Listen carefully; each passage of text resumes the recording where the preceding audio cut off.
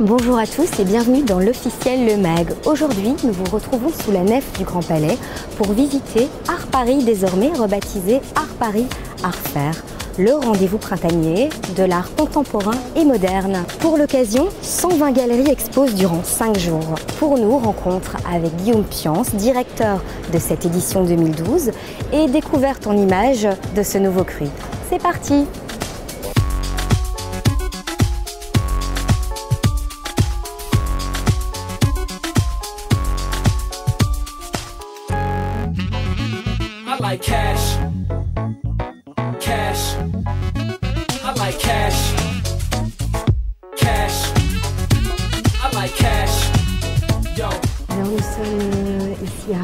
c'est la quatrième édition avec un changement de direction, une nouvelle équipe, un nouveau comité de sélection. Quelle est euh, la nouvelle impulsion que vous souhaitez donner à la foire? Déjà, il y, a un, retour à, des fondamentaux, euh, des fondamentaux d'une bonne foire, j'allais dire, c'est d'avoir un comité de sélection et de faire une sélection de galeries. Des galeries que j'appellerais des galeries d'auteurs. C'est pas forcément les ténors du marché de l'art international, mais ce sont des galeries, en tout cas, qui euh, ont une véritable ligne, des lignes artistiques qui ne sont pas forcément formatées, mais euh, voilà, qui sont très personnelles.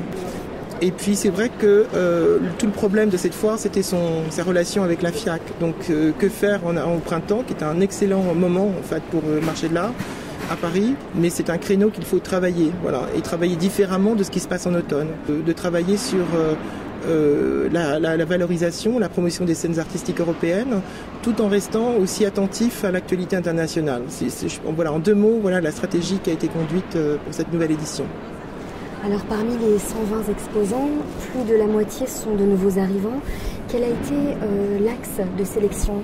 L'idée, c'était déjà de revenir sur les mouvements européens euh, récent, c'est qu'il y, a effectivement réexaminer l'histoire. Je trouve important de, revenir aux bases de cette culture, de ce socle européen qui est très riche, euh, et qu'on a tendance aujourd'hui à ne plus regarder puisqu'on est tout le temps obsédé par euh, ce qui vient d'ailleurs. C'est cette question du proche et du lointain, c'est qu'on est absorbé par le lointain et finalement autour de nous il y a quand même plein de choses à regarder aussi. Il y a des villes où c'est bon de revenir, comme des villes comme Düsseldorf, comme Cologne, qui ont des traditions très fortes euh, dans, la relation à la collection, avec des écoles qui sont absolument remarquables et qui forment de très bons artistes. Donc c'était important de revenir à l'Europe. Puis en même temps d'aller vers des choses qui sont aujourd'hui des scènes, des scènes singulières qu'on connaît un peu moins, euh, par exemple Budapest. Euh, ça, c'est une volonté d'aller vraiment explorer, défricher euh, des scènes qui ne sont pas forcément représentées en France.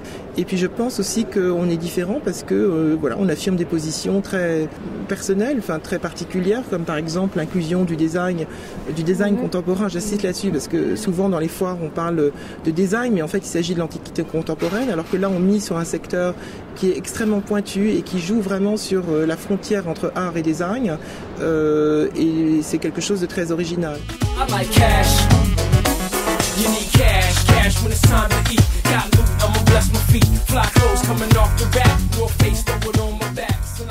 Vous défendez la création euh, contemporaine artistique russe depuis quelques années déjà. Vous avez contribué à faire connaître euh, de nombreux artistes en France. Et vous êtes aujourd'hui à Art Paris. Quelle est votre œuvre phare sur le stand? Euh, j'ai fait un choix euh, très éclectique avec des cultures différentes. Euh, Erwin Olaf, par exemple, qui présente une œuvre qui est une œuvre sur très tendue, très silencieuse, qui s'appelle Keyhole. Donc le spectateur est obligé de se mettre en position de voyeur. Il s'agit d'une pièce fermée. C'est toute une intimité symbolique. On a une différence de perception entre l'homme et la femme qui fait les mêmes gestes, exactement autour de l'enfant. De protection, on pense que ça va un peu plus loin, etc. Mais par contre, on n'a pas la même réflexion sur la mère qui va aussi un peu loin. Et en fait, c'est la même chose qui se passe, aussi bien avec l'homme qu'avec la femme, cet enfant qui a honte.